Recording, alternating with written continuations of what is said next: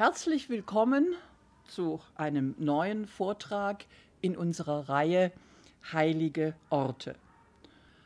Unser heutiges Thema ist der Heilige See, ein besonderer Ort in nahezu jedem ägyptischen Tempel, auch wenn Ihnen wahrscheinlich von Ihren Ägyptenreisen nur zwei heilige Seen wirklich in Erinnerung geblieben sind. Und das ist zum einen hier links im Bild in Karnak im großen Amun-Tempel und dann rechts der heilige See von Dendera. Der heilige See ist ein Ort im Bezirk des Tempels und er ist definiert dadurch, dass er wirklich ein Teil der Architektur ist. Es ist ein gemauertes Bassin, ein gemauertes rechteckiges Becken, zu dem mehrere Treppen hinunterführen. Und er wird gespeist vom Grundwasser. Das heißt, er ist nicht durch einen Kanal oder ähnliches mit dem Nil verbunden um seinen Stellenwert, er hat natürlich eine oder sogar mehrere symbolische Bedeutungen und viele Funktionen, die wir uns heute anschauen wollen, äh, etwas äh, besser in den Kontext des Tempels einzuordnen, äh, wenden wir uns dem ägyptischen Tempel als heiligem Ort kurz als einleitende Phase zu. Denn der ägyptische Tempel ist das Abbild der Welt, das Abbild des Kosmos. Und das kann man an vielen einzelnen Bauelementen und auch äh, Elementen der Dekoration erkennen. Das beginnt bei den Säulen oder lassen Sie uns bei den Säulen beginnen, äh, die anders als ähm, griechische oder römische Säulen nicht einfach ein tragender Bauteil sind, sondern schon in ihrer Form eine gewisse Symbolsprache beginnen. Der, die ägyptische Säule ist stets eine Pflanzensäule. Entweder äh, stellt sie einen Baumstamm dar, wie etwa bei der Palmsäule, oder einen Pflanzenstängel. Das sieht man äh, zum Beispiel äh, hier recht gut. Die Säule ist immer leicht geböscht, das heißt hier ausgezogen, zieht sich unten wieder zusammen und hat in ihrem unteren Teil auch stets, äh, auch stets die Dekoration eines äh, Pflanzenstängels mit den anliegenden äh, Kelchblättern.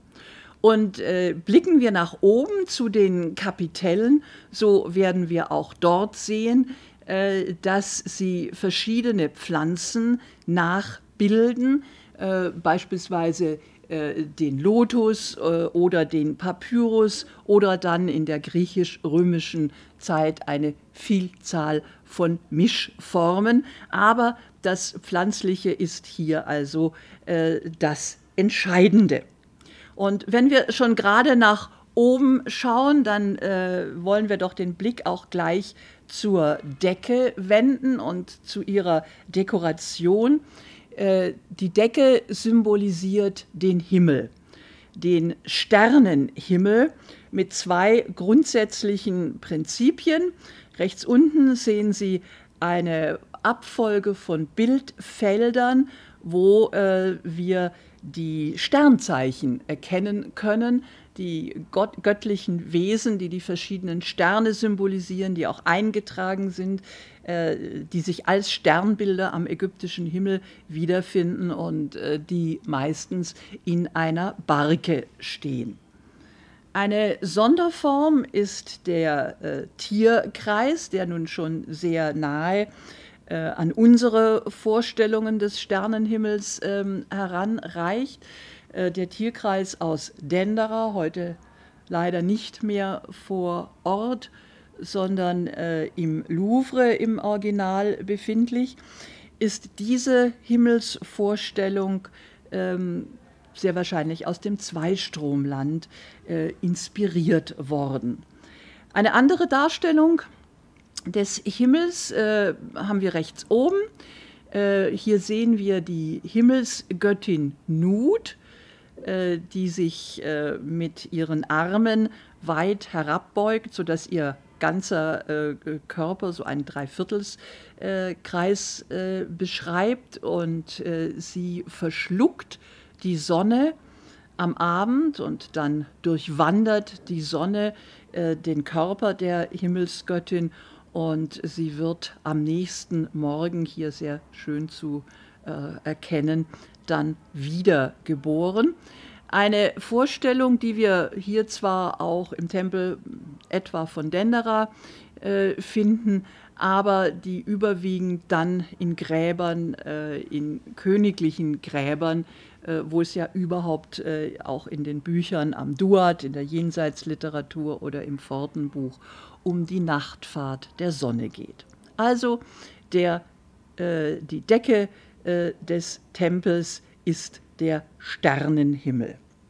Und nun gehen wir von der Decke hinunter in die Sockelzonen. Und in den Sockelzonen haben wir äh, die Darstellung des Nils äh, der ja äh, ganz prägend äh, für viele Vorstellungen in Ägypten ist. Und hier sind es eine Reihe von Personifikationen, die mit den verschiedenen Gaben des Landes, also mit Pflanzen, aber auch mit dem Wasser des Nils aufgereiht sind. Es sind Personifikationen äh, oder auch äh, Nilgottheiten, wobei äh, wir diese Nilgottheiten äh, hier in einer der ältesten äh, Variationen aus dem Totentempel äh, des Ni-Usare äh, definieren können als ein zweigeschlechtliches Wesen mm, das äh, also deutlich äh, weibliche Brüste äh, zeigt, äh, das ein sehr mm, üppiges, einen sehr üppigen Körperbau hat und gelegentlich sogar durch darüber gelegte äh, Wellenlinien, Wasserlinien, ganz direkt auch ikonografisch äh, den Hinweis auf den Fluss, auf das Element Wasser gibt, äh, den er verkörpert. Und ähm, dieses Element ähm, das wir in der Sockelzone finden, also direkt aus dem Boden aufgehen. Manchmal sind sogar Pflanzen äh, noch dazwischen gestellt, hält sich also vom alten äh, Reich an bis in die griechisch-römische Zeit und wir verlassen Ägypten äh, und äh, gehen links oben äh, hinaus nach dem Süden, nach Nubien, in den antiken Sudan. Hier von unserer Grabungsstätte in der Königsstadt äh, Naga äh, haben wir genau dieselben ikonografischen Darstellungen äh, wie drei Jahrtausende äh, vorher. Die Nilgottheiten, die hier aneinander gereiht sind und äh, mit Wassergefäßen versorgt sind. Auch äh, in dieser späten Form können immer wieder weibliche Personifikationen von Gütern, von Landgütern oder auch von Gauen ähm, dazwischen gestellt werden. Diese Vorstellung der, des Nilgottes ist auch in die königliche Rundplastik übernommen worden. Äh, links oben äh, die berühmten Fischopferer von Amenemhet III. aus dem Ende der 12. Dynastie, also etwa 1800 äh, vor Christus, äh, eine sehr ungewöhnliche Darstellung, was etwa auch die Haartracht und die Bartracht des Königs zeigt. Und äh, sie tragen Opferplatten vor sich, wie wir sie auch bei den Nilgottheiten ähm, gesehen haben. Und von diesen Opferplatten hängen ähm, die Opfergaben, Fische, äh, verschiedene Pflanzen und auch Vögel herab. Also wir sind ganz wieder in, äh, diesem, äh, in dieser Umgebung äh, des Nils mit seiner Tier- und Pflanzenwelt. dieser Typ, also auch mit diesen Opferplatten, ist dann vereinzelt im Neuen Reich und auch in der dritten äh, Zwischenzeit, etwa von äh, Tutmosis III. oder von Osorkon, wieder aufgegriffen worden. Entstanden ist, diese, ähm, ist dieser ähm, rundplastische Typus im Mittleren Reich, wo wir auch in der Mitte reine Darstellungen äh, von Nilgottheiten haben. Hier offensichtlich eine, eine, äh, ein Fragment äh, aus einer aus einer Gruppenstaat, aus einer Statuengruppe. Äh, der Bart gibt uns sofort den Hinweis, dass es sich hier um eine Götterdarstellung äh, handelt. Äh, wir sehen die weiblichen Brüste und etwas abgebrochen die Libationsgefäße. Ähm, nichts anderes äh, steckt auch hinter, hinter, der sehr ungewöhnlichen Darstellung des Echnaton rechts, also jen, jenes Königs, der äh, sich von der ägyptischen Göttervielfalt getrennt und den ersten monotheistischen äh, Gott eingeführt hat, nämlich die Sonnenscheibe Aton, dessen einziger Prophet er gewesen ist. Und äh, es ist viel herumgerätselt worden an dieser Darstellung äh, des Königs, äh, die ihn mit so auffällig breiten Hüften und üppigen Oberschenkeln zeigt, mit dem kleinen Bäuchlein, das da sich immer über dem Gürtel nach vorne äh, schiebt und ihm vergleichsweise dazu äh, sehr, sehr hageren, äh, fast schon äh, dünnen, ausgemergelten Oberkörper. Und man hat ihm allerlei äh, Krankheiten andichten äh, wollen, an denen er gelitten hat. Aber es ist nichts anderes, als dass er sich hier auch in dieser äh, alten Tradition der Darstellungsweise von Fruchtbarkeitsgöttern, von Nilgottheiten äh, darstellen lässt. Es gibt keine äh, Darstellungen des Gott, des göttlichen Wesens mehr, außer der Sonnenscheibe, also etwas Anikonisches. Äh, und nun rückt die königliche Familie gewissermaßen in diese Position. Er äh, übernimmt die Rolle der Fruchtbarkeitsgottheit, der Vatergottheit und äh, seine Frau und die Töchter, also Nofretete und die sechs Prinzessinnen schlüpfen in die Rolle der Mutter bzw. der Kindgottheiten. Ungewöhnliches Aussehen, aber identisches Prinzip.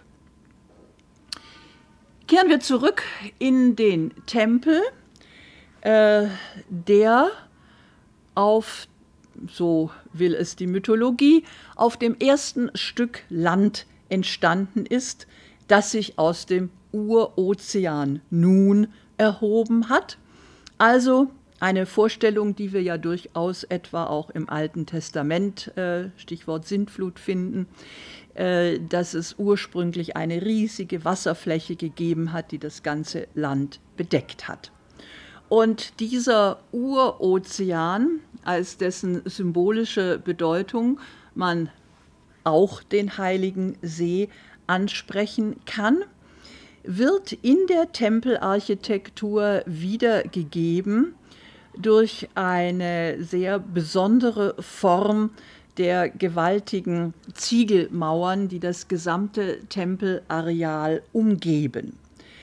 Äh, man sieht es, äh, die, die, beiden Bilder auf der rechten Seite jeweils in Dendera, äh, äh man sieht es in der Daraufsicht, aber äh, dann auch sehr schön in dieser Seitansicht, ich übertreibe etwas, äh, dass hier die Lagen der Ziegel nicht äh, genau waagerecht ausgerichtet sind, sondern dass man Kompartiment für Kompartiment äh, hier äh, sozusagen diese geschwungenen Wellen äh, in der Lage der Ziegeln nachgebaut hat. Und dass dies äh, nicht, äh, ich sag mal, hier ein Zufall ist oder äh, vielleicht äh, entstanden ist durch unterschiedliche Setzung der, ähm, der äh, äh, Ziegelwände, lässt sich sehr schön in Kalabscha äh, beobachten, also einem der versetzten Tempel aus der Nubien-Campaign im Kataraktgebiet von Elephantine, wo diese äh, Mauer nun nicht aus äh, Ziegeln, sondern hier einmal aus ähm, tatsächlichen Steinblöcken ausgeführt wird. Und siehe da, wir haben hier äh, genau äh, diese, diesen, diese selbe, dieselbe Wellenbewegung, äh, sodass also völlig klar ist, das ist kein Zufall, das ist nicht irgendetwas Verunglücktes, sondern das ist etwas, was hier ganz äh, bewusst und eindeutig ähm, gebaut worden ist. Ähm, kehren wir zurück direkt zum Heiligen See so lassen sich zunächst einmal zwei unterschiedliche äh, Tempelarten ausmachen, wo wir diese Seen finden. Das ist einmal hier wieder das Beispiel von Karnak, äh, der Göttertempel. Das ist aber auch rechts zu sehen, äh, der äh, Verehrungstempel, also der Totentempel äh, des Königs hier in Medinet Habu. Also die beiden wichtigsten ähm, ägyptischen Tempelarten, Göttertempel, Totentempel, sie sind beide mit etwas unterschiedlichen Funktionen, auch mit heiligen Seen äh, vertreten gewesen. Äh, hier zunächst einmal äh, Beispiele für die heiligen Seen, wie sie sich heute abzeichnen. Wobei, ich erinnere daran, sie waren vom Grundwasser gespeist, äh, sie ein sehr unterschiedliches Aussehen ähm, haben können. Äh, der heilige See von El Kab in Oberägypten, ähm, die beiden linken Bilder sehr unterschiedlich, in welcher Jahreszeit man hinkommt. Äh, manchmal wirklich ein richtiger Teich, ein richtiger kleiner See. Anderer, äh, zu anderen Zeiten dann äh, eher nur eine, eine ausgetrocknete Wasserlache. Und manchmal kann man den Heiligen See nur noch an der Vegetation erkennen, rechts Tanis im Ostdelta. Wenn also der Grundwasserspiegel so weit absinkt, äh, dass nur noch ein äh, ja, bescheidener Pflanzenwuchs dort äh, übrig bleibt, wo einmal äh, das Bassin für den Heiligen See gewesen ist. Wir haben drei Quellen, äh, auf die wir uns beziehen können, wenn, äh, wenn es um den Heiligen See geht. Zunächst einmal ganz offensichtlich ähm, die der archäologische Befund, also dort, wo man tatsächlich in der Landschaft noch einen See, und sei es nur ein Tümpel, erkennen kann. Äh, oder, äh, was natürlich dann auch oft der Fall ist, äh, einen solchen dann bei Grabungen durch die Freilegung und seien es nur einige Blöcke oder eine Treppe, die nach unten führt, eben auch durch die, Archäologe, durch die archäologische Grabung. Das Zweite sind die Inschriften, äh, wobei die sich auch wieder aufteilen. Einmal in Inschriften, die wir im Tempel selber haben. Wenn also äh, einfach zum Beispiel ähm, äh, der, ähm, der Heilige See erwähnt wird in angrenzenden Bauteilen, äh, da steht jetzt nicht, hier geht es zum, zum Heiligen See, äh, aber äh, dass da beispielsweise auch manchmal ein, ein, ein Ritual äh, beschrieben wird und darin der Heilige See äh, genannt wird. Äh, äh, dann in beispielsweise biografischen Inschriften oder auch in sehr praktischen Inschriften, wenn es also etwa um Zuweisungen geht oder eben auch in Privatinschriften eben bestimmte Rituale erwähnt werden. Und dafür werden wir im weiteren äh, Verlauf auch noch äh, Bilderbeispiele sehen. Äh, es gibt äh, vor allen Dingen im Neuen Reich eine doch recht große Anzahl von Darstellungen von Tempeln in Gräbern. Und äh, in diesen Darstellungen sind dann auch wieder ähm, heilige Seen zu erkennen. Äh, das trifft sowohl für Theben West als auch beispielsweise für Amarna zu. Also so lassen sich auch äh, heilige Seen nachweisen.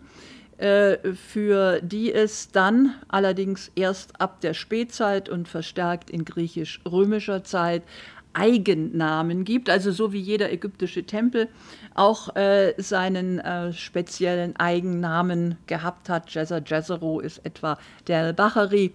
Äh, so können auch einzelne Tempelteile oder eben der Heilige See äh, ein, mit einem ganz bestimmten Namen äh, bezeichnet werden. Nun wollen wir uns äh, mit den verschiedenen äh, Funktionen des Heiligen Sees äh, befassen, was wir dann, äh, dann auch noch an einigen Bildbeispielen nachvollziehen wollen. Zunächst einmal eine ganz praktische Funktion. Der Heilige See ist das Wasserreservoir im Tempel. Es gibt eine ganze Menge von äh, Vorgängen, äh, für die man Wasser benötigt und nicht immer ist der Nil wenige Meter entfernt. Äh, etwas ganz Wichtiges äh, sind die Rituale, die mit Wasser äh, vollzogen werden, äh, beispielsweise Libation, also Wasseropfer und äh, letztendlich ein Teil dieser Rituale sind auch die Reinigungen bzw. das Bad des Priesters. Äh, bevor ein Priester irgendeine heilige Handlung vollziehen konnte, bevor er eigentlich den Tempel äh, betreten durfte, musste er sich reinigen. Ein, ein Brauch, ein Teil des Rituals, ein vorbereitendes Rituals, das ja nahezu alle äh, Religionen äh, übernommen haben. Äh, das finden wir im Alten Testament äh, genauso äh, wie in den früh frühchristlichen Kirchenanlagen, wo wir immer im Hof einen großen Brunnen haben und dieses Brunnenhaus gibt es auch in jeder Moschee. Also ein ganz grundlegender Gedanke, man muss sich reinigen, bevor man dem Göttlichen gegenübertreten kann. Der zweite Bereich ist ähm, die Symbolik des künstlichen Nils. Äh, es haben Prozessionen stattgefunden äh, mit den Götterbildern auf ihren Barken, dazu gleich noch, auf dem Nil. Äh, bei, großen, bei großen Festen haben sich auch die Götter, zum Teil sogar weit entfernter äh, Tempel, gegenseitig über diese äh, Barkenfahrten auf dem Nil besucht. Und äh, für den täglichen Kult hat man diesen Aufwand nicht betrieben, sondern man hat die Barken so als kleine Schiffchen äh, mit den Götterbildern, mit den kleinformatigen Götterbildern darin einfach auf den heiligen See gesetzt. Dann fielen die Prozessionen natürlich auch etwas bescheidener aus und fanden nur innerhalb des Heiligtums statt. Äh, dann gibt es eine ganze Reihe von kultischen Spielen, die auch auf dem Wasser stattfinden, etwa der Kampf Horus gegen Seth, aber auch Vernichtungsrituale. Äh, ganz konkret geht es um den Fisch- und Vogelfang, der als Feindvernichtung interpretiert worden ist. Auch das findet sich äh, entsprechend ähm, in den Darstellungen an den Tempelwänden und hat so dann auch auf dem Heiligen See stattgefunden. Ein dritter kultischer äh, Nutzen des Heiligen Sees äh, ist die Haltung heiliger Tiere, die nun in irgendeiner Weise als wasseraffine Tiere mit dem Nil-Wasser in Verbindung äh, stehen. Ganz konkret geht es dabei um die Gänse, um die Gänse des Gottes Amun. um Krokodile, Stichwort krokodilsköpfiger Gott Sobek, und dann auch um die Fische. Und alle diese Tiere sind auch tatsächlich als lebende Tiere im Heiligen See. Nicht alle überall, das hängt natürlich von der jeweils dort vor Ort verehrten Gottheit ab, aber sie sind dort ähm, gehalten worden und wir könnten auch noch die Frösche mit hinzuziehen, obwohl die wahrscheinlich einfach sowieso da gewesen sind wegen des Wassers. Also das sind äh, die Funktionen des Heiligen Sees, die teilweise übernommen äh, werden können. Da kann sich etwas überlappen mit, ich habe es mal einfach als sonstige Gewässer im Tempel äh, bezeichnet. Neben dem Heiligen See gibt es nämlich noch eine Vielzahl von Tempelteichen. Äh, das sind ebenfalls rechteckige ähm, Anlagen gewesen, die innerhalb eines, äh, einer Gartenanlage sich befunden haben, äh, die im Gegensatz äh, zu dem Heiligen See äh, nicht unbedingt äh, ausgemauert gewesen sind und die tatsächlich dafür gedient haben, äh, die Tempel zu, die Gärten im Tempel zu bewässern. Man hat dort Blumen angepflanzt, die man für den vielfältigen Blumenschmuck und als, auch als Opfergabe äh, benötigt hat. Und äh, es hat auch eine Art von Nutzgarten für Gemüse äh, und Obst gegeben, gleichfalls äh, für die Opfergaben. Äh, dann gibt es einen Kanalteich, der T-förmig vor dem Tempel liegt und äh, der zur Anlandung der Schiffe, der richtigen Schiffe vom Nil her äh, gedient hat. Also eine Verbindung von Nil und Tempel über einen Kanal und das mündet auch in ein gemauertes Miniatur-Hafenbecken ein. Dann haben wir eine sehr besondere Form des äh, Heiligen Sees, kann man auch nach links schieben.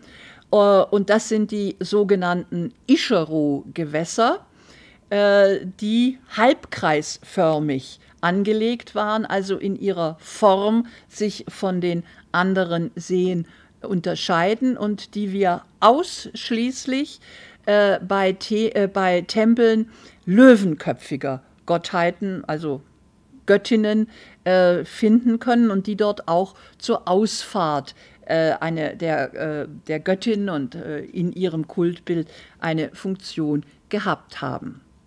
Dann gibt es Ringteiche, die also ein Heiligtum umschließen. Bekanntestes Beispiel dafür ist ähm, das Osirion in Abydos. Hier ging es um die Schaffung einer Insellage und dann gibt es natürlich auch ganz praktisch den Brunnen, wo es äh, wirklich um die Wassergewinnung äh, gegangen ist, Trinkwasser äh, ähm, aus der Tiefe nach oben holen und dann das Nilometer, auch wieder praktische Gründe. Man will wissen, wie hoch ist der Stand äh, äh, des Nils, wann kommt die Nilschwemme. Das hat ja dann auch alles kultische Folgerungen nach sich gezogen. Also wir sehen, dass es eigentlich äh, relativ viel äh, an äh, Wasseranlagen, an Gewässeranlagen, an Anlagen in Verbindung mit Wasser im Tempel gegeben hat. Und wie gesagt, manchmal äh, überschneiden sich einfach auch äh, die verschiedenen Funktionen miteinander oder äh, sie sind eben dann auch bei kleineren Tempeln für mehrere Zwecke äh, genützt worden. Um äh, in die Bedeutung, die diese ganzen Schifffahrten, diese Bargenausfahrten äh, auch im kultischen Bereich äh, gehabt haben, müssen wir ganz kurz etwas zu Schiffen allgemein sagen. die Schiffe sind seit der Vorgeschichte links zwei Gefäße aus der äh, Vorgeschichte Negade II-Zeit, so etwa äh, 3300 äh, vor Christus. Ähm, und seit dieser Zeit finden wir nicht nur Schiff, Schiffsdarstellungen, sondern wir haben in dieser Zeit, hier sind sie mit Standarten versehen, auch schon den Hinweis auf eine kultische Einbindung äh, dieser äh, Schiffe, äh, bei denen es sich nicht etwa äh, um die Darstellung eines äh, Tausendfüßlers handelt, sondern das sind die Ruder. Ein ägyptisches Schiff ist immer beides gewesen. Ähm, Ruderboot und Segelschiff. Wir haben nur zwei Windrichtungen in Ägypten, einmal nach Norden, einmal nach Süden. Und deswegen musste man, je nachdem, in welche Richtung man fahren wollte auf dem Nil, äh, konnte man äh, einmal segeln und äh, das andere Mal musste man die Fahrt durch Rudern überwinden.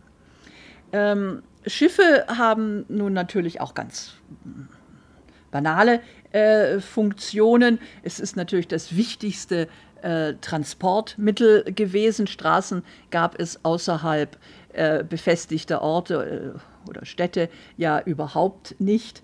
Und man hat hier einfach auch äh, Schiffe zum Reisen benötigt, man hat Handel äh, damit getrieben, aber auch, ähm, äh, sie waren natürlich auch äh, ein wichtiges Machtsymbol. Äh, sie haben auch zum Transport der Truppen äh, gedient. Und gerade in der Zeit der Entstehung des ägyptischen Staates um 3000 finden wir besonders viele äh, Schiffsdarstellungen. Äh, wer die Schiffe hatte, hatte das Transportmonopol äh, und konnte schnell von einem Ort zum anderen gelangen, was für die Gaufürsten, die Kleinkönige, dann ein unschätzbarer Vorteil gewesen ist. Aufgrund ihrer ja, Notwendigkeit des Alltags, weil sie den Alltag in Ägypten bestimmt haben, spielen natürlich die Schiffe auch in den Jenseitsvorstellungen eine wichtige Rolle. Auch das Jenseits ist von verschiedenen, äh, von verschiedenen Gewässern äh, durchsetzt. Und äh, von dieser Bedeutung im Diesseits, im Jenseits ist das Ganze dann auch in den kultischen Bereich der Götterwelt übertragen worden.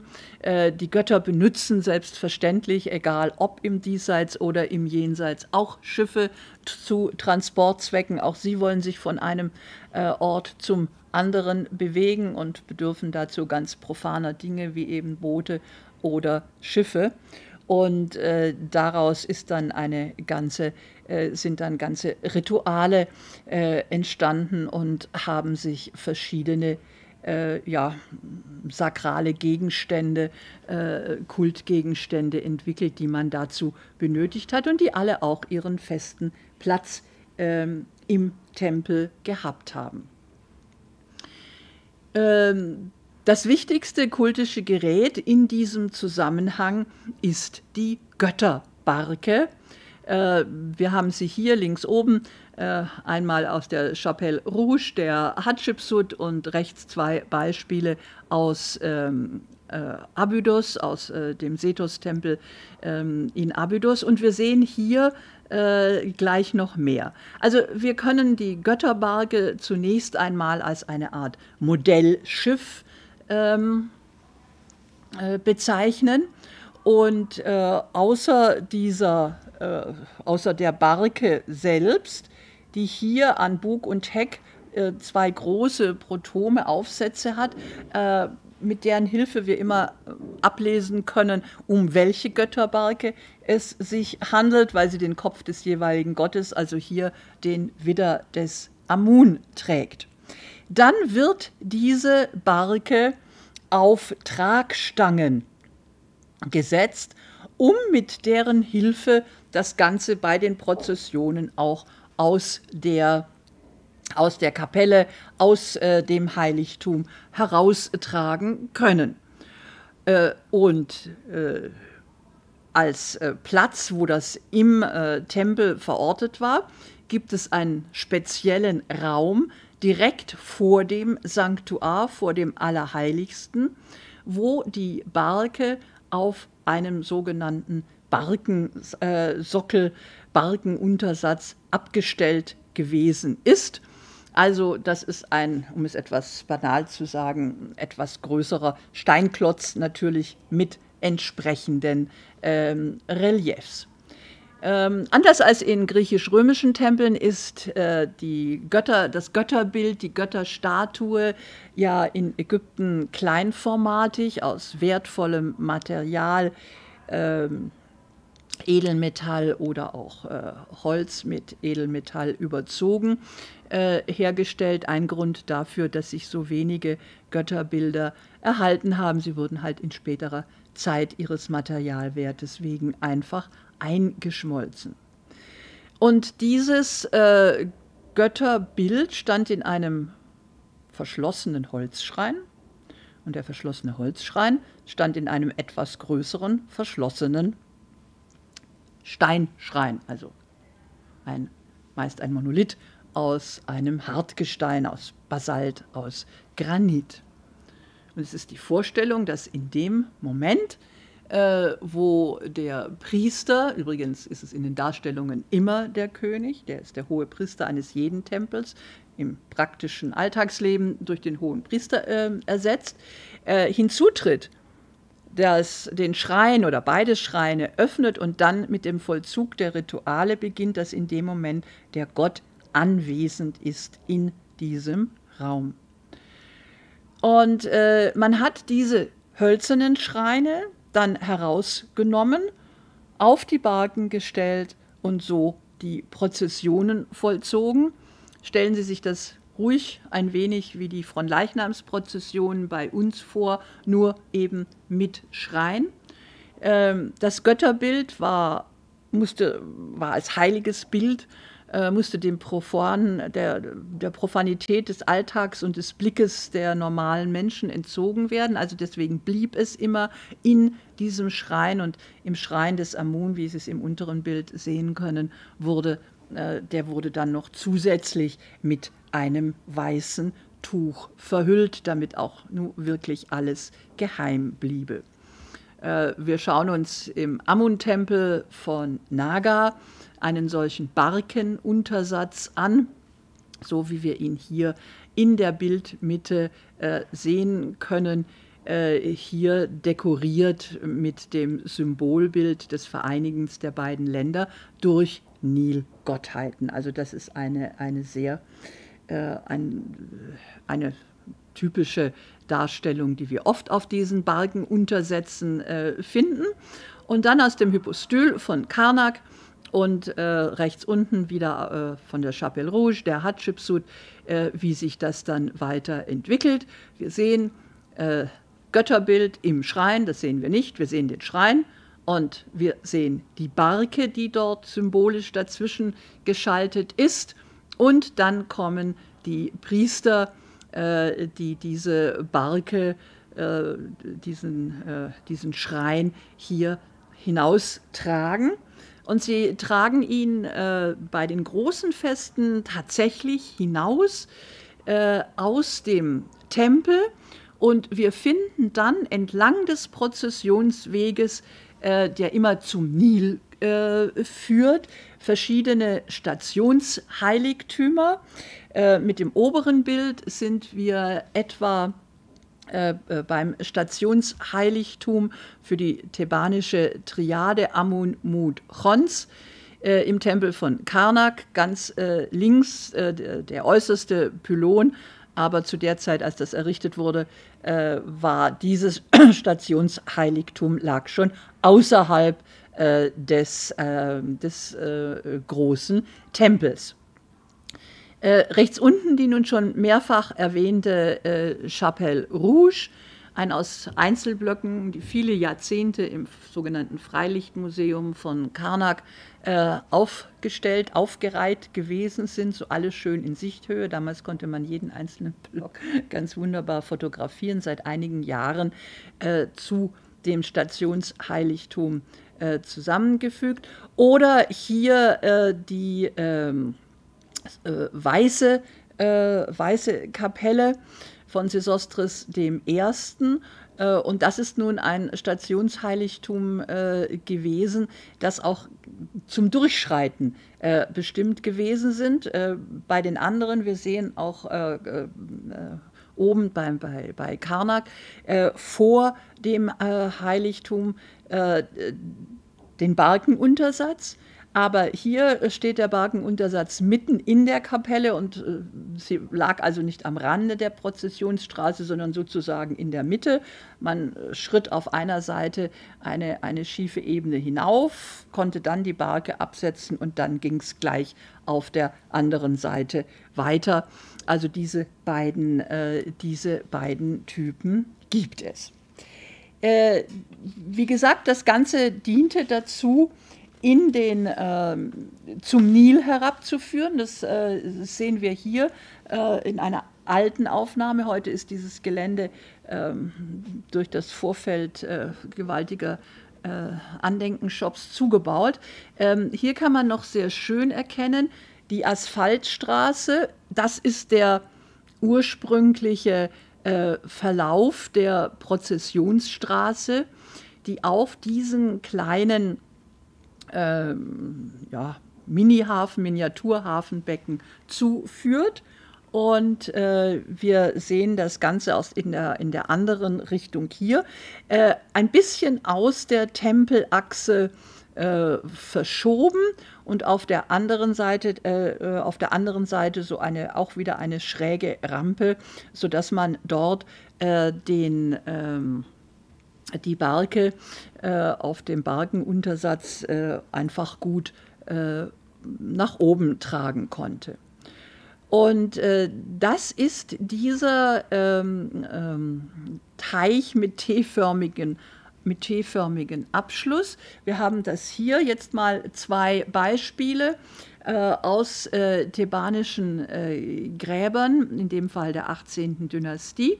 Und hier unten, das ist ein Beispiel äh, für diesen T-förmigen Abschluss. Also äh, das ist der Kanal, äh, der vom Nil äh, heraufführt zum Heiligtum, äh, das hier mit dem großen Eingangspylon gekennzeichnet ist.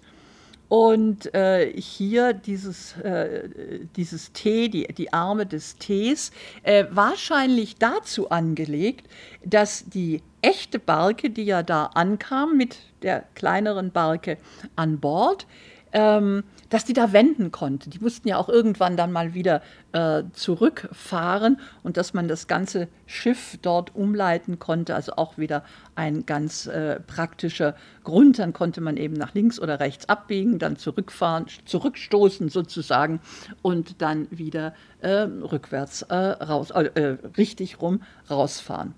Auch in dem oberen Bild, das ist jetzt zwar, ähm, äh, das ist jetzt nicht ein ähm, der T-förmige, sondern das ist wirklich ein heiliger See, der hier abgebildet wird. Wir sehen hier auch wieder äh, die Tempelarchitektur äh, und äh, hier äh, das Schiff, das Modellschiff in dem Fall, das auf dem heiligen äh, See bewegt wird. Ich hatte das ja als eine der drei Quellen, die uns äh, zur als Information über heilige Seen zur Verfügung stellen, äh, schon genannt. Hier zwei weitere äh, Beispiele aus äh, Grabanlagen.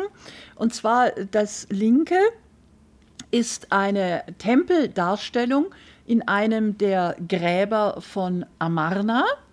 Und äh, hier oben in dem eingekreisten Bezirk, da ist die Darstellung des Heiligen Sees. Also auch wenn die Tempelanlagen in Amana ja ganz anders aussehen als äh, sonst.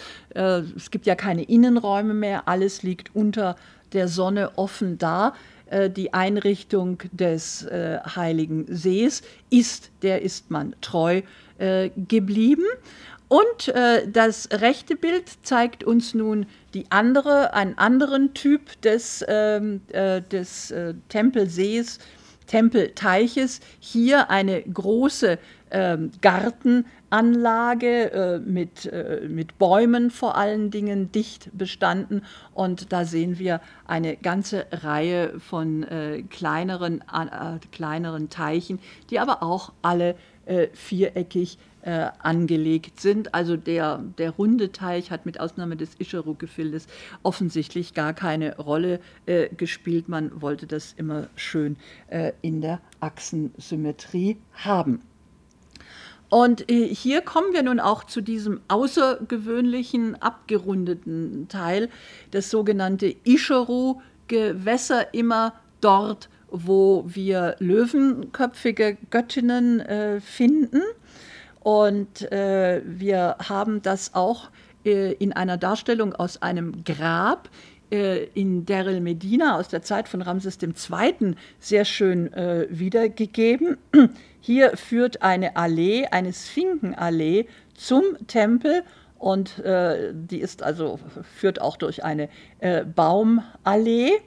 Und das eigentliche Heiligtum, der Pylon mit zwei Kolossalstatuen, ist umgeben äh, von diesem ringförmigen äh, Gewässer. Hier scheint es sich äh, sogar ein Anschluss über einen Kanal, also vielleicht doch auch mal vom Nil, ähm, gespeist. Und wir sehen hier wieder, wie diese Göttin, ganz offensichtlich die Göttin Mut, äh, äh, diese Kultbarke mit dem Schrein, mit dem Götterbild darin.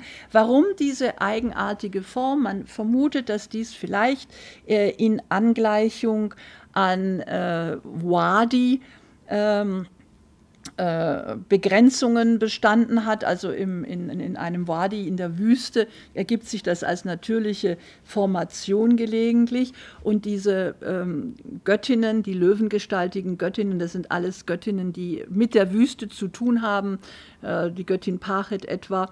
Und es ist äh, die Göttin, äh, die sich ja erzürnt über das Menschengeschlecht, die in die Ferne äh, gegangen ist und die am liebsten das ganze Menschengeschlecht vernichtet hätte und die man äh, mit diesem Gewässer auch zu besänftigen versucht. Und statt das Blut der getöteten Menschen hat sie sich dann, ja, man kann sagen, austricksen lassen, aber auch zufrieden äh, gegeben mit einem äh, großen Teich aus Bier und äh, dann trank sie das Bier und war beruhigt und besänftigt.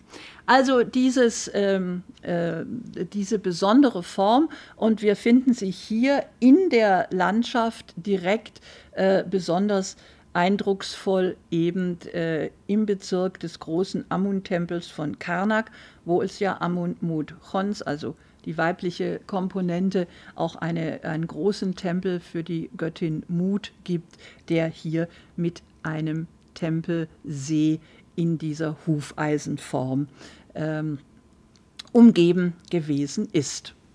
Als wichtigstes äh, oder als eine wichtige Grundvoraussetzung für alle Rituale äh, hatten wir die Reinigung äh, kennengelernt, äh, die wir vor allen Dingen im Eingangsbereich der Tempel äh, dargestellt werden wie hier links unten zu sehen.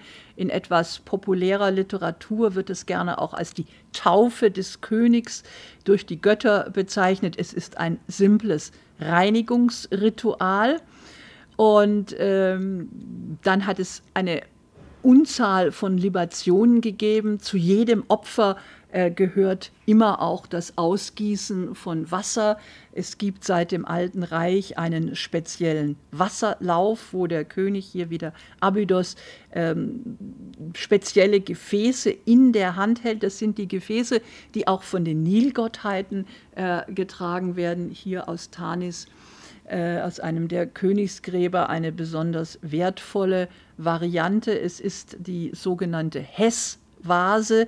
Äh, es gibt eine Hieroglyphe in dieser Form mit dem Lautwert HS und äh, die hat eben auch die Henkel und äh, wird im unteren Teil an der schmalen Stelle äh, gegriffen und für Libationen verwendet. Noch nicht äh, explizit genannt war die Funktion des Heiligen Sees im Umfeld der Medizin. Äh, wir sind hier in Dendera. Äh, der Heilige See ist Ihnen wohl vertraut und nicht allzu weit davon entfernt liegt das sogenannte Sanatorium.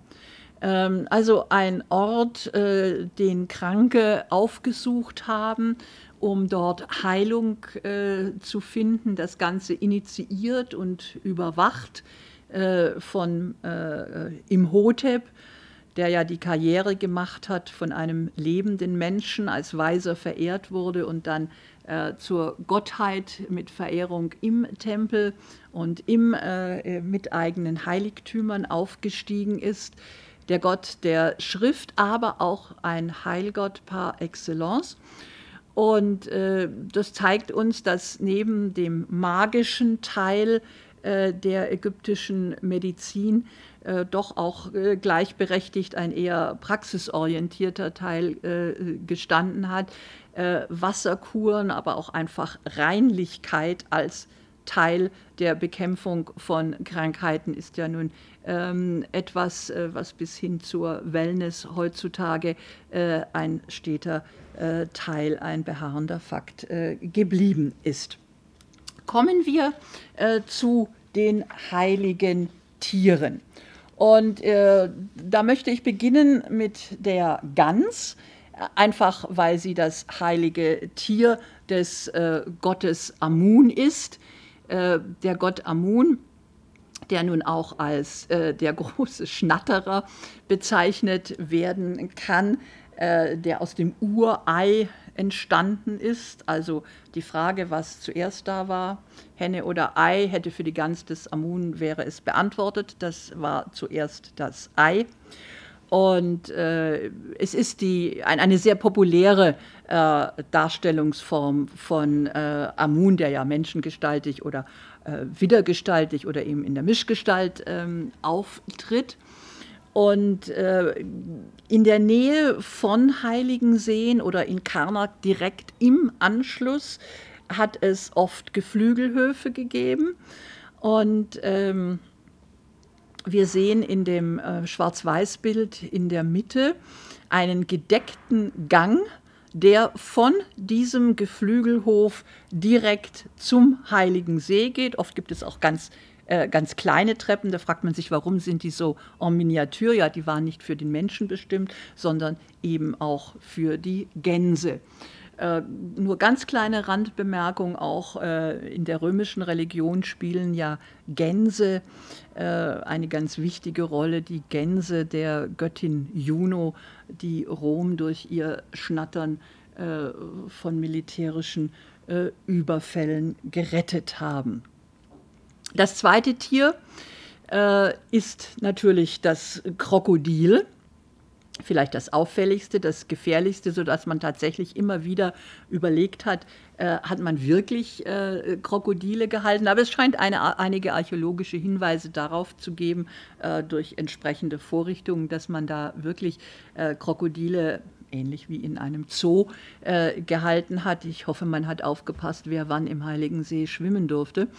Und das sind nun zwei Objekte aus unserem Haus, äh, die in Gestalt einer Opferplatte aus Ton ein solches äh, Krokodils Heiligtum äh, äh, uns zeigen. Rechts sehr schön, da ist im Hintergrund äh, das sogar ein bisschen gefährlich dargestellte, breit auf sich aufbauende äh, Krokodil zu sehen mit einer Reihe von äh, ja, Gitterstäben abgetrennt davor liegen Opfergaben, während auf der auf der äh, Platte links die Opfergaben und die beiden äh, Krokodile gleichberechtigt nebeneinander stehen geblieben sind. Sie sehen, dass das hinten offen ist und vorne eine Ausgusstülle hat. Also das wurde auch selbst noch als Objekt für eine Wasserspende verwendet.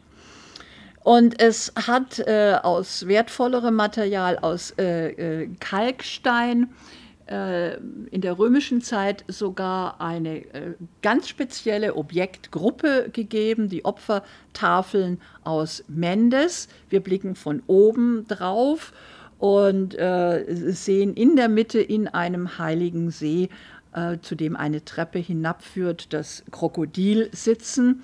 Und das Ganze ist auch wieder eine Opferplatte, ist durchbohrt hier in diesem Garten, der so labyrinth meandrierend artig um das Ganze gelegt ist, sind Vertiefungen und hier vorne, äh, befinden, hier vorne befinden sich dann äh, die, äh, die Löcher, äh, wo das ganze Wasser hier, die Bohrungen, äh, wieder ausgeschüttet wurde. Und nur als Hinweis darauf, dass es sich wirklich um eine ganze Gruppe handelt, nicht um ein einzelnes Objekt. Hier weitere Beispiele dieser Mendes. Ähm, Opfertafeln, die oft an der Vorderseite, also hier wie auch das Münchner Stück, noch mit Fröschen äh, verziert sind. Und äh, diese Frösche, ich springe mal schnell vor, finden sich dann auch in der Miniaturausgabe in kleinen Bronzen, äh, wo wir Teiche dargestellt sehen, an dessen einen Ende äh, der Priester ein Gefäß ausgießt und etwa die Mündung konnte wieder von einem Frosch ähm, überwölbt werden. Die letzte Tierart, die wir noch nennen müssen in diesem Zusammenhang, ist der Fisch, der Oxyrhynchos-Fisch, ähm, der vor allen Dingen im gleichnamigen Ort äh, in Mittelägypten äh, verehrt wurde, äh, der in enger Beziehung zur Göttin äh, Hathor steht, dessen Krönchen er auch trägt, deren Kopfputz er trägt und er ist einer der, eine der Erscheinungsformen des äh, Sonnengottes. Und die, äh, die Verbindung zu Hathor äh, ist ja, dass Hathor nicht nur die Göttin der Schönheit und der Liebe, sondern auch eine Himmelsgöttin gewesen ist. Der Tempel von Edfu, der Horus-Tempel von Edfu, der äh, uns nun in den Bereich der Rituale, der rituellen Spiele führt, äh, die äh, am, um, auf dem heiligen See durchgeführt worden sind. Äh, Horus, der Sohn von Osiris, der getötet wurde von seinem Bruder Seth und sein Sohn muss ihn erwachsen geworden rächen.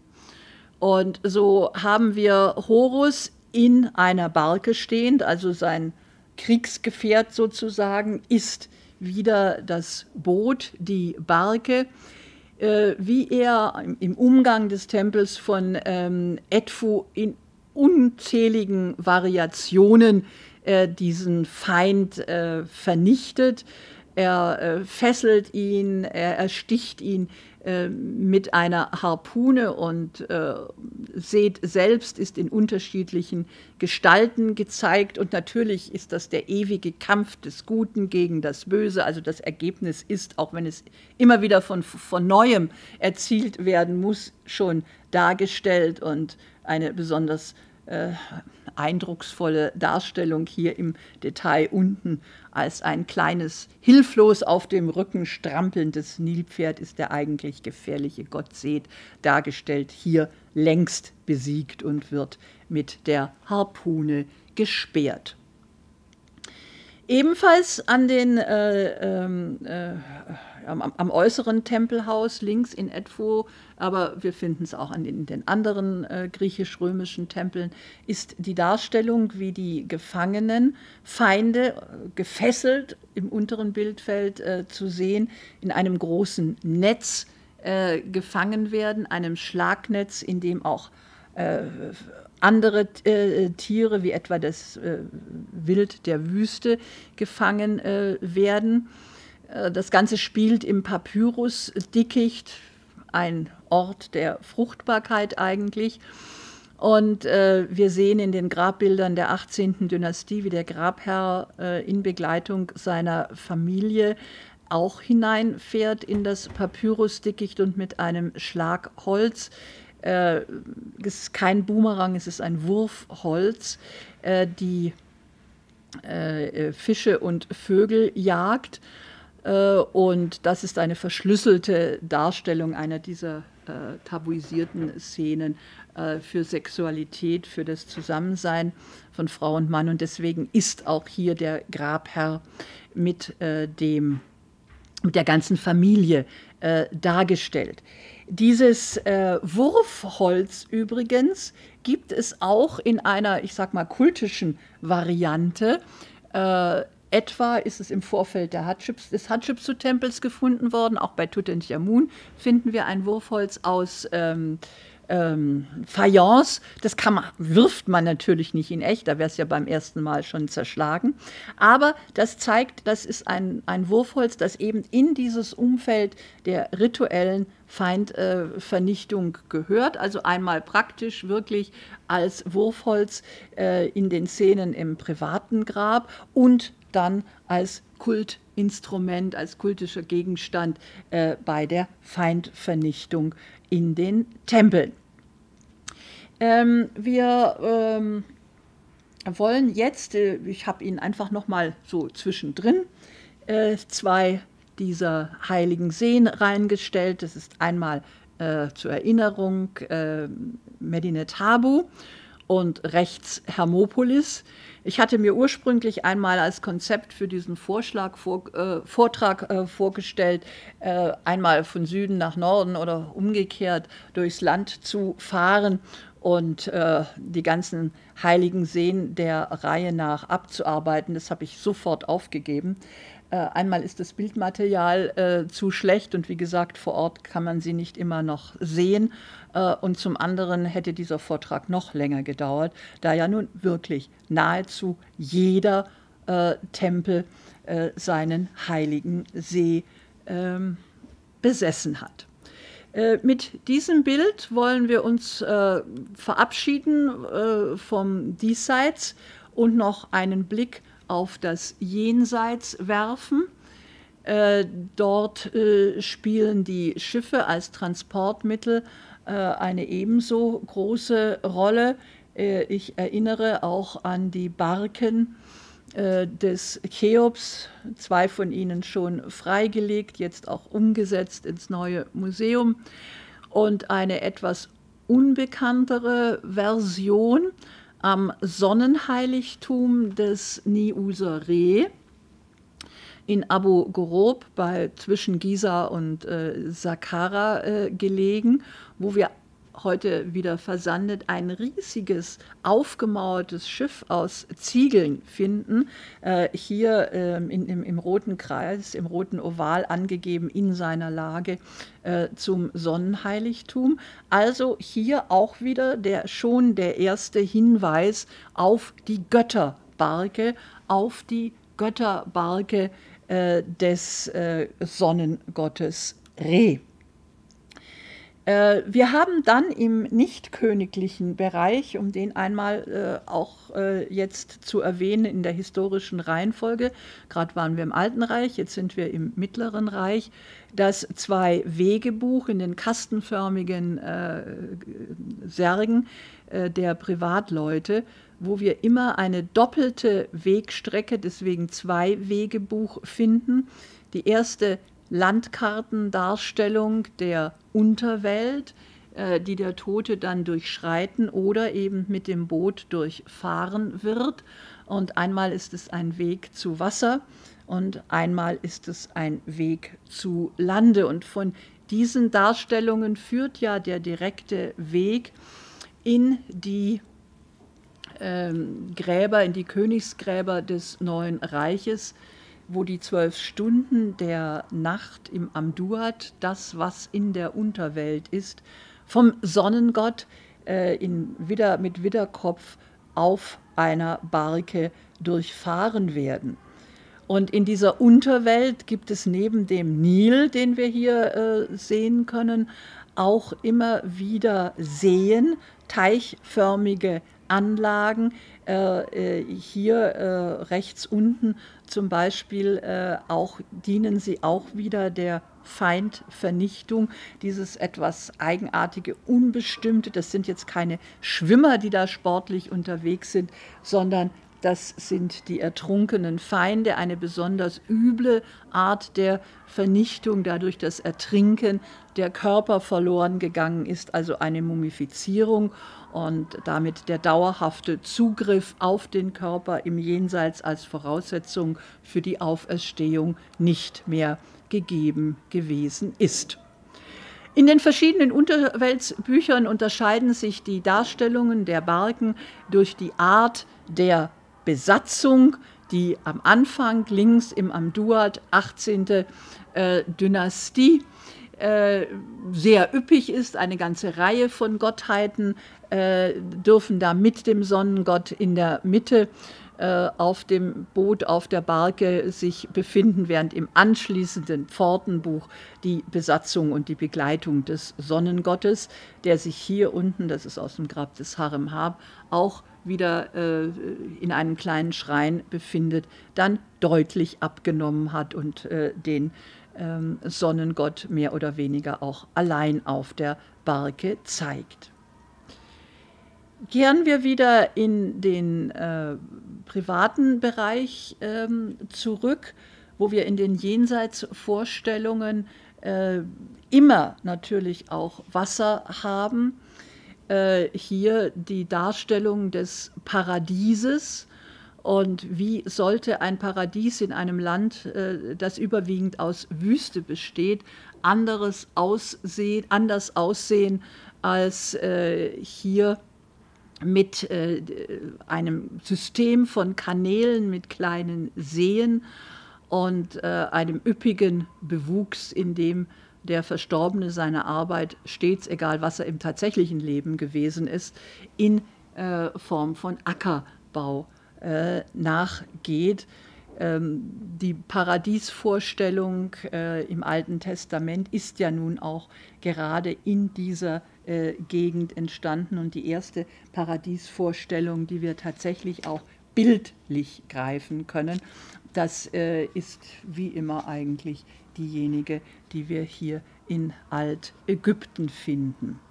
Auch der Garten der äh, Beamten äh, ist äh, natürlich mit einem Teich versehen, auf dem der Verstorbene auch gelegentlich hin und her fahren kann.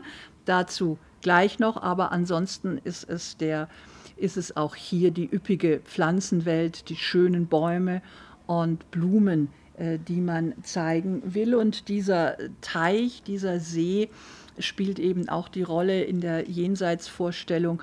Äh, man braucht das Wasser, um weiter existieren zu können. Der Verstorbene, der an seinem Teich kniet, aus ihm trinkt mit der Palme, ist ein festes Motiv. Oder auch die Baumgöttin, äh, die den Verstorbenen äh, und seinen Bar in Gestalt des Vogels mit Menschenkopfes, ein Münchner Stück rechts, äh, mit Lebensmitteln und eben auch mit Getränken versorgt. Also hier äh, sind die Ideen, einmal bezieht es sich auf das Jenseits, im Tempel bezieht es sich auf den Kult der Götter, aber die Bilderwelt ist doch sehr ähnlich und arbeitet mit denselben Elementen. Ein Grabrelief aus äh, einem Grab der unmittelbaren Nach-Amarna-Zeit zeigt uns auch einen solchen äh, privaten äh, Teich. Äh, am Rande sehen wir noch, dass wir uns bei den Begräbnisfeierlichkeiten befinden. Die Klagefrauen, die klagenden Diener. Und auf äh, dem Teich sehen wir aber auch das Boot äh, mit dem Schrein des Verstorbenen. Und äh, hier kommen wir nun zur, äh, zu einem Teil des, äh, des Begräbnisrituals, nämlich der Fahrt nach Abydos.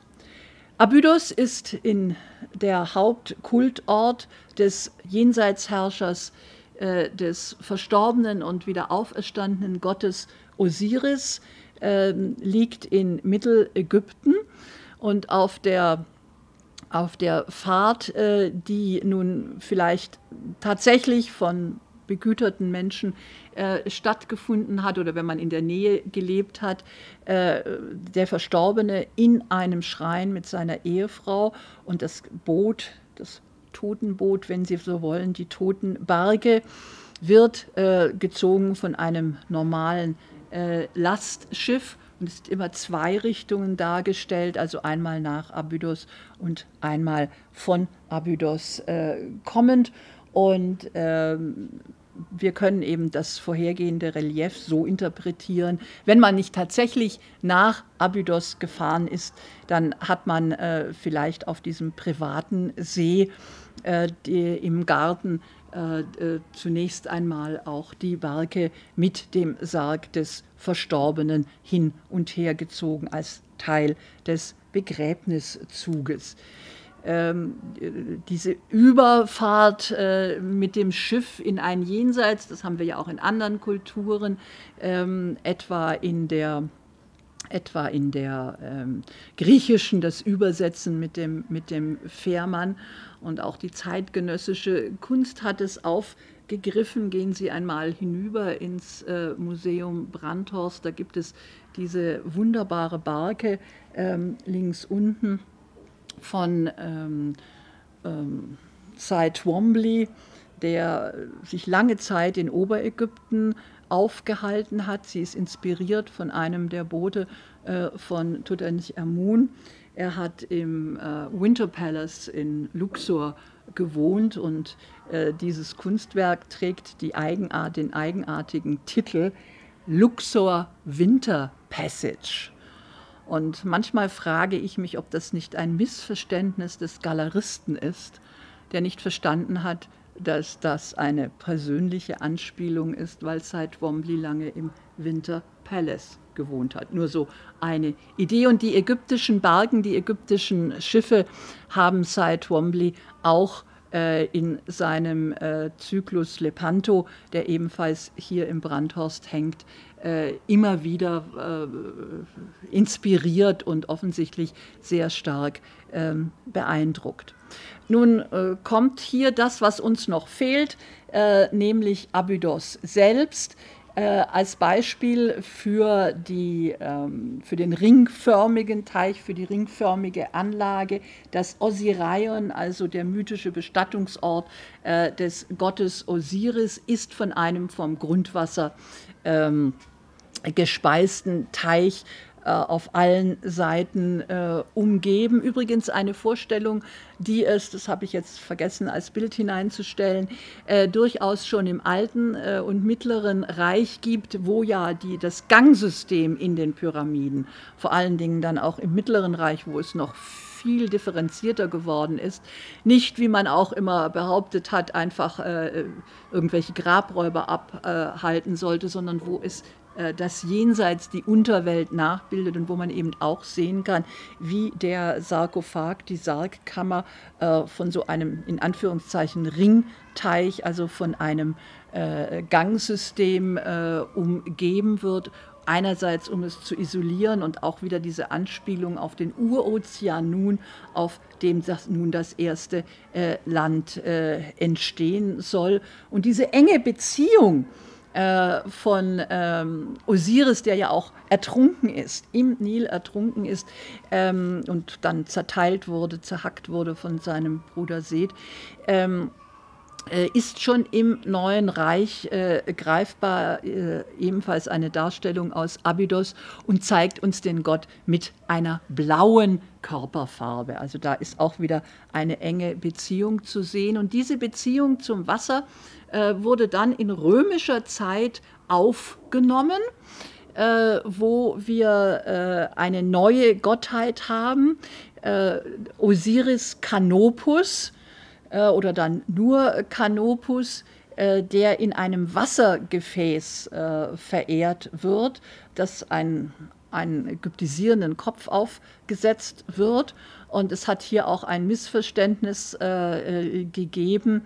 Ähm, es gab zuerst die Bezeichnung Kanope für ein solches äh, Gefäß, das den Gott Osiris mit seinem Bezug zum Wasser meint. Und daraus ist dann abgeleitet worden der Begriff Kanopus. Kanope für die eingeweihte Krüge, aber das ist eine rein äußerliche, formale Geschichte und äh, ähm, hat sonst eigentlich nichts miteinander zu tun.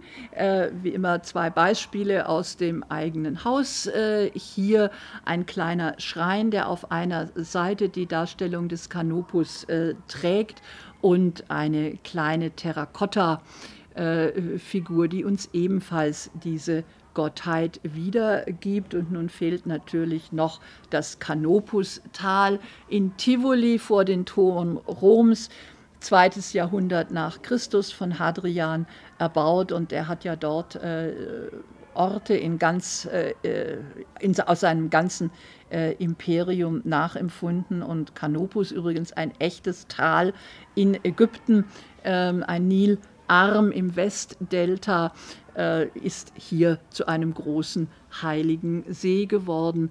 Und äh, Hadrian äh, erinnert damit natürlich auch an, an, seinen jugendlichen Gefährten Antinous, der im Nil ertrunken ist und der hier auch ein Grab, ein Pseudograb, ein Kenotaph mit Obelisk erhalten hat.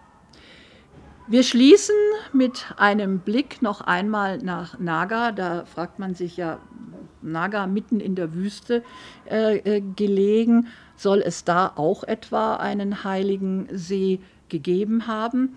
Und da möchte ich doch mal eine gewisse Neuinterpretation wagen. Äh, wir haben in Naga unten das Luftbild mit Drohne erstellt, zwei große Chafire.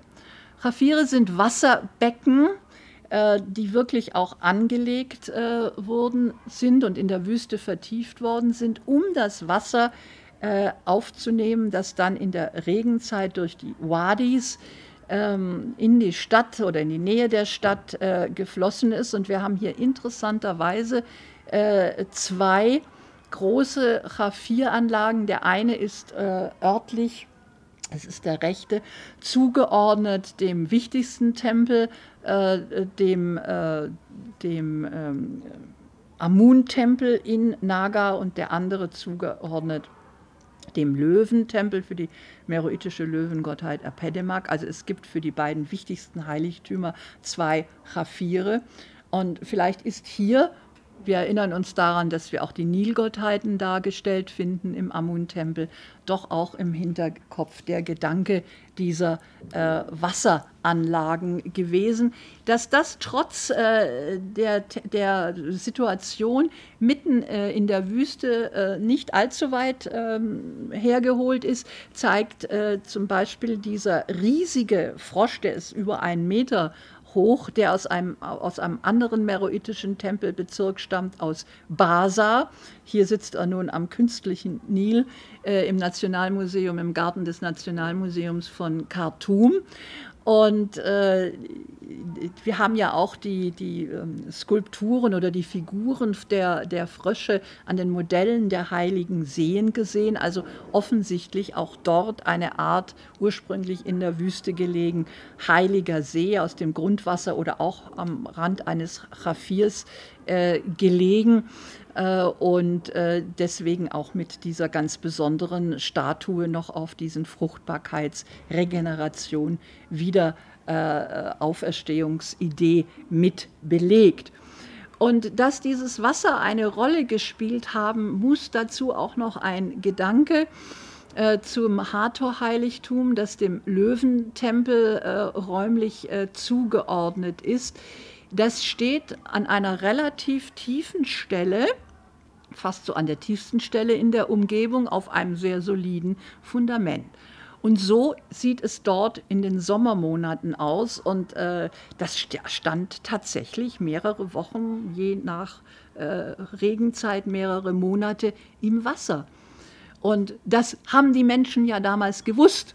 Die wussten ja, wie es dort in der Zeit der äh, in der Regenzeit aussieht. Und es wäre ja unschwer möglich gewesen, äh, dieses kleine Heiligtum einfach äh, 100 Meter zu verschieben, an einer anderen Stelle zu bauen, wo es nicht jedes Jahr äh, mit der Sockelzone äh, im Wasser gestanden hat. Nein, man hat es ganz bewusst an diese tiefe äh, Stelle hingestellt. Vielleicht weil man damit tatsächlich auch ein Heiligtum in einem künstlichen See haben wollte, also diese uralte Idee aus Ägypten, vielleicht nicht hundertprozentig mehr verstanden hat, doch aber doch in irgendeiner Weise wieder aufgreifen wollte. Vielen Dank.